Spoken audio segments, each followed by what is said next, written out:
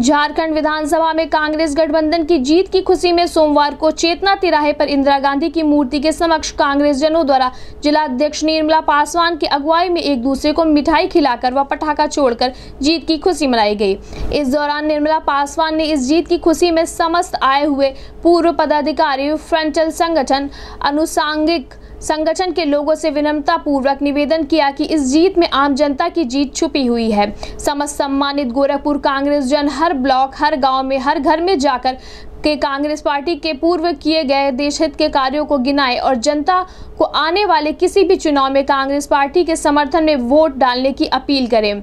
इस दौरान जीत की खुशी में प्रमुख रूप से उपस्थित महिला प्रदेश अध्यक्ष शहला अहरारी, महिला जिला अध्यक्ष सोनिया शुक्ला, पूर्व जिला अध्यक्ष राकेश यादव, डॉक्टर संजय कुमार, कुसुम पांडे, प्रोफेसर राम नरेश चौधरी, प्रमोद शुक्ला सहित अन्य लोग मौजूद रहे। इस संबंध में गोरखपुर न्यूज़ संवाददाता से बात करते हुए कांग्रेस जिला अध्यक्ष निर्मला पासवान ने कहा जिंदाबाद जिंदाबाद। जिंदाबाद जिंदाबाद। सोनिया राहुल जिंदाबाद। जिंदाबाद जिंदाबाद। कांग्रेस पार्टी जिंदाबाद। जिंदाबाद जिंदाबाद। बधाई हो बधाई हो। बधाई हो बधाई हो। सोनिया राहुल जिंदाबाद। जिंदाबाद जिंदाबाद। प्रियंका गांधी जिंदाबाद। जिंदाबाद जिंदाबाद। जिंदाबाद। जिंदाबाद जिंदाबाद। कांग्रेस जिंदाबाद। जिंदाबाद पार्टी जिंदाबाद। जिंदाबाद जिंदाबाद। सोनिया राहुल जिंदाबाद। जिंदाबाद जिंदाबाद। सोनिया राहुल जिंदाबाद। जिंदाबाद जिंदाबाद। सोनिया राहुल जिंदाबाद। जिंदाबाद सोनिया राहुल जिंदाबाद। सोनिया गांधी। राहुल गांधी। सोनिया सोनिया राहुल जिंदाबाद। झारखंड की जीत।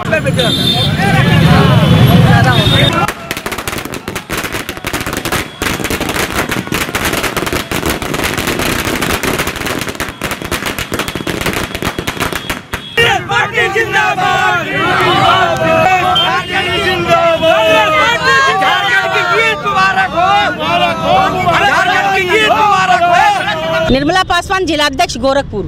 आज का जश्न जो है सारे कांग्रेस और सारे भारतवासियों के दिल पर है। जो जनता ने दिया था उसको एकदम ये उल्टा रूप में दिखाया था जिसको आज झारखंड की जनता ने आज सबक सिखा दिया क्योंकि बीजेपी की उल्टी गिनती शुरू हो गई है।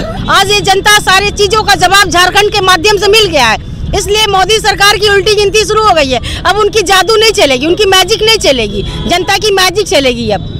फटाका फोड़ करके मिठाई बांट करके सारे जनता के सामने हमने सेलिब्रेटेड किया और सारी जनता इसमें खुशियाँ मना रही है। कांग्रेस के पक्ष में है सभी लोग। इसका श्रेय हमारी सोनिया गांधी आदरणीय प्रियंका गांधी राहुल गांधी को और प्रदेश अध्यक्ष अजय- लल्ली जी को हम लोग दे रहे हैं। झारखंड की जनता तो हमारी हैये है जवाब देने के लिए।